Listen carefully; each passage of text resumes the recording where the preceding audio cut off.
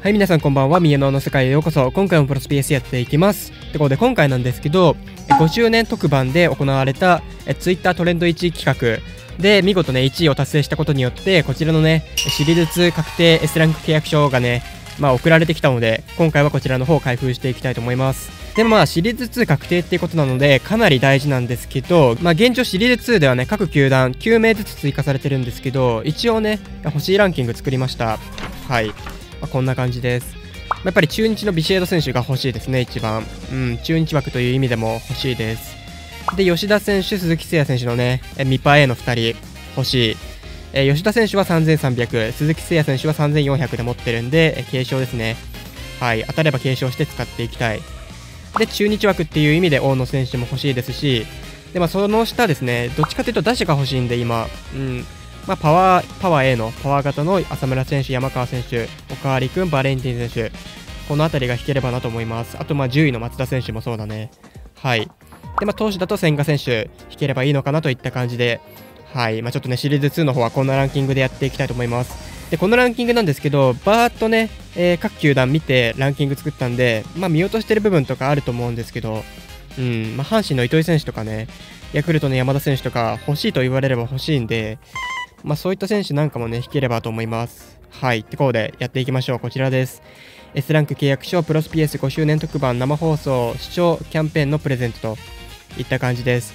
まあ、シリーズ2確定してるんで、なかなか貴重です。いきましょう。まあ、取っておいた方がいいっていう考えもあるんですけど、まあ、シリーズ2確定してるんでね、別に引いていいと思います。今回に関しては。いきましょう。長打。最近ガチャばっか引いたから逆にこっちの1個前の演出もなんか悪くないね。さあ誰が引けるか。うーんってことでメルセデス選手。メルセデス選手か。なるほど。投手か。結局投手なんですね。はい。ツーシーム持ってますよね確か。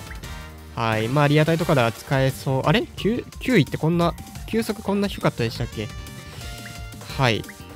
はい。ってことでメルセデス選手でした。あれか、抑えの方の巨人の選手が確か9位160とか、球速が160ぐらいあるんでしたっけはい、ってことで今回は巨人、メルセデス選手という結果でした。いやー、まあ野手欲しかったんですけどね、投手という結果でした。えー、9位76、制球74、スタミナ74ということで、はい、オール B ですね。なかなか能力は高いです。ステータス高いです。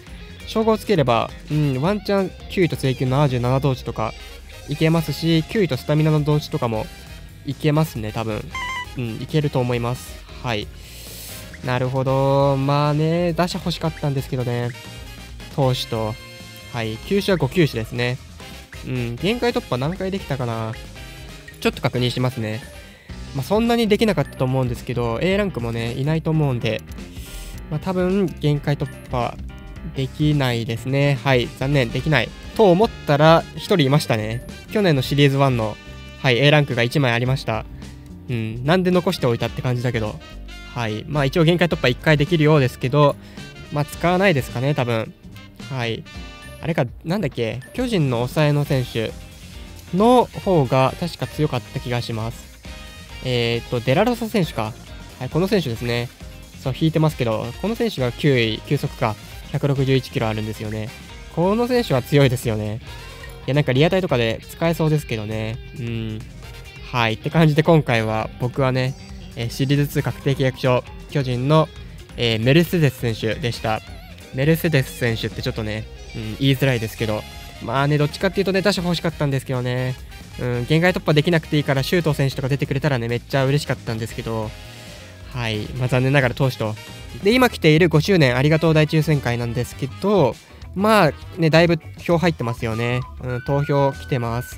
で、まあ僕はね、今回はちょっとコイン取ろうかなとか、うん、ちょっと考えてます。そう、定員割れしてるんで、そう、えー、本数が、1、2、3、1、10、100、1000万、10万、100万か。100万本に対して、応募数が、えー、2万かな ?20 万か。